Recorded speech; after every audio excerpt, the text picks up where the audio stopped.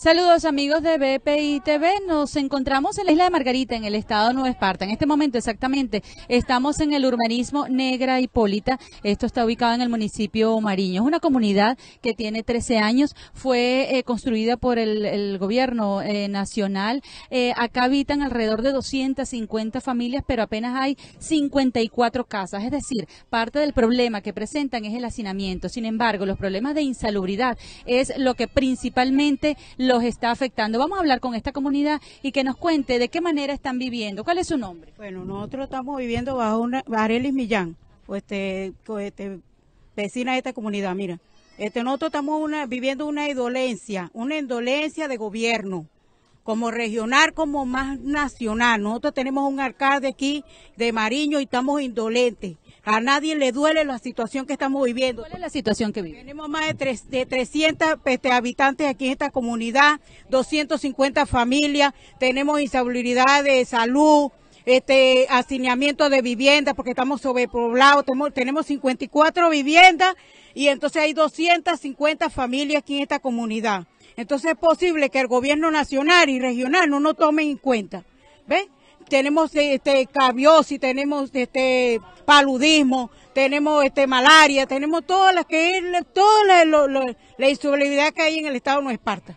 Sí, aparentemente la situación de salud es parte de lo que más está afectando a estas personas y obviamente pues lo vemos por la cantidad de aguas servidas que corren libremente por la calle y la cantidad de niños. Háblanos de cómo están viviendo estos problemas de salud, sobre todo qué casos específicos hay acá en esta comunidad.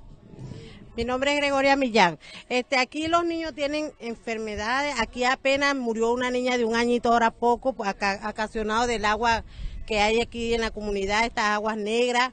Este, niñas enfermas, gripe, este, escabiosis. En cada, en cada casa viven cada ocho personas viviendo en cada casa. Si no, aquí no atenden a, a las personas que le busquen vivienda, la salud, hay demasiados problemas aquí en la comunidad. Y aquí no llega ni el gobierno, aquí no se ha aperturado nadie del gobierno. Más bien lo que nos quitan en las cajas y nos venden cada tres meses, nos quitan los beneficios. La situación del agua, por ejemplo, que en toda Margarita, en toda Margarita las afecta. La situación del agua, por ejemplo, ¿cómo la, ven ustedes también? ¿Les llega agua, no les llega? Sí, la casa mía principal, la primera casa se, me, se niega, la casa mía también se me niega. Ahí tenemos que estar poniendo tabla para poder uno pasar para dentro de la casa.